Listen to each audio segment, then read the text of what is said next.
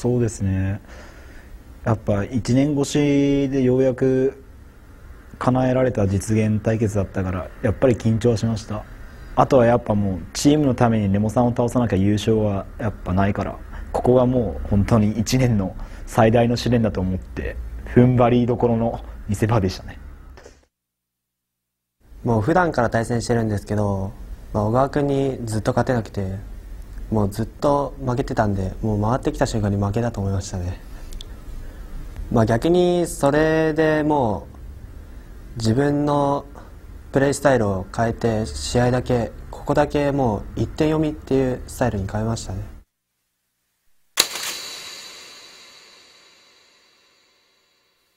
そうですね。ファーストは対空牽制ともに優秀なキャラだから技相性でこっちの方が分があるからやっぱ基本的に技相性でやっぱ勝負仕掛けつつやっぱあと火力が相手側がないからこっちは火力に分があるからそのそういう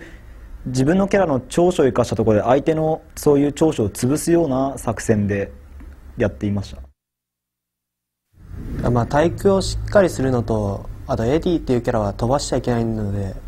まあ飛び防止を一番に考えていけば、まあ、勝てなくはないキャラかなっていうのはあるんですけどまあもう固められると死んじゃうんで、まあ、固められたら諦めてくださいって感じです。今大会のラストを飾ったギルティギアイグゼックスシャープリロード。決勝という大舞台で戦った2人だけの世界。その核心に迫る。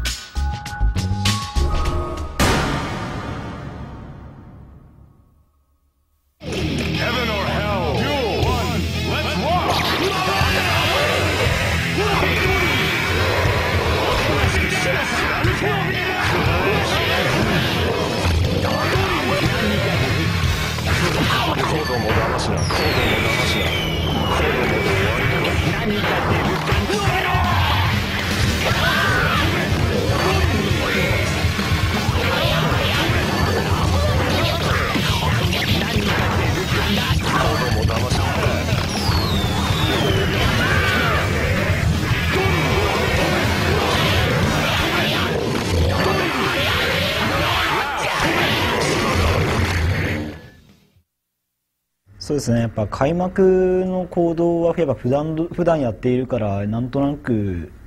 まあ予想してって感じでファーストはジャンプが安定だとは思ったんでまあ遠さしてそこからまあいきなり開幕からまあ自分のアドバンテージを大幅有利に生かしたいからまあもう 入れ込みって感じでもうなんか開幕から勝負を仕掛けましたね。あとはやっぱよいしょよいしょであの分身の伸びるが相打ちしてダメージをちょくちょく奪えたっていうところが最大要因だと思いますよ。やっぱそこで少しダメージ稼ぎできてやっぱ自分の中でも心のゆとりができたからそういうところでやっぱいいかなと思いました。今の試合はですねもう普段通りでまあ自分の良かった点っていうのはなかったんですけど、まあ、小川君のキャラ体質が優れててやっぱメテオに対しての、まあ、潜りの対策とかまあ、その潜りに対して自分が対策、まあ、まだできてなかったので、まあ、やっぱやり込みの差を1ラウンド目は感じました。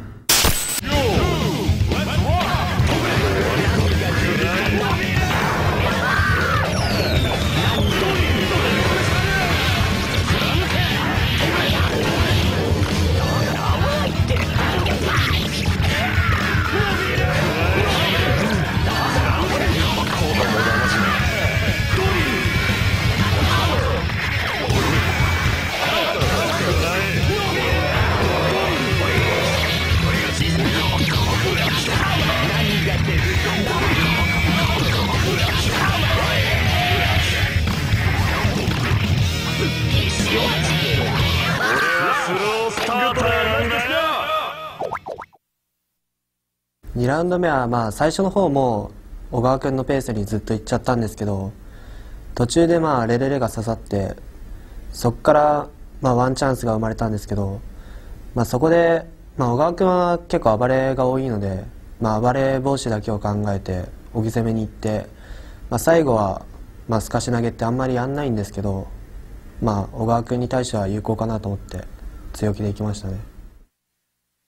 そうですね。最初やっぱ自分のペースだったんですけどやっぱ一番場面変わったのは自分が伸びるカウンターのコンボを見せたところとその後ののやっぱレレレからのワンチャンスでやっぱさっくりとこうされちゃったあたりがもうネモさんの火力なんて言うんだろう。もう読みの鋭さが伺えたところとあとやっぱラストの透かし投げはちょっと予測できなかったっていうところでちょっと焦りました。あれはもうネモさんの経験とやっぱあとプレイヤーの性能スキルの高さをやっぱ再度伺えたっていうふうに思いますね。お互い譲らず1対1最終決戦における思考の極致とはどのようなものだったのだろうか。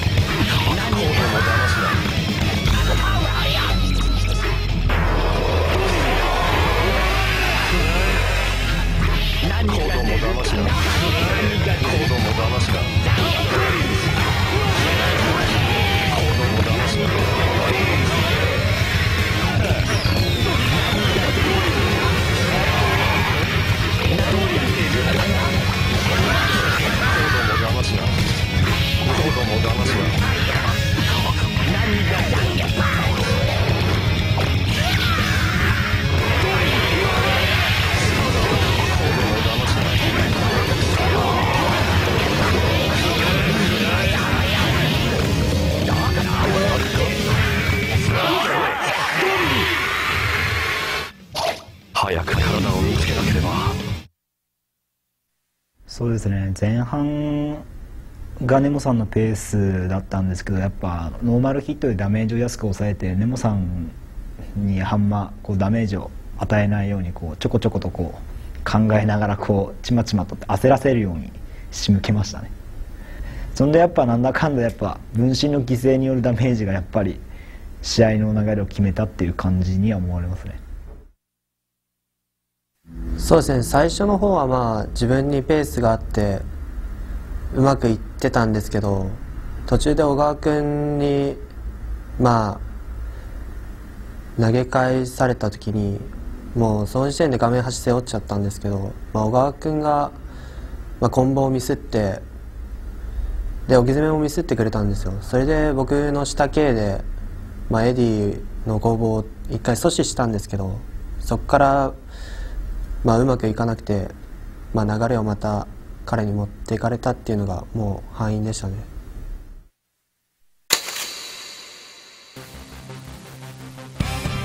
そうですねやっぱ大会のプレッシャーからかやっぱ普段の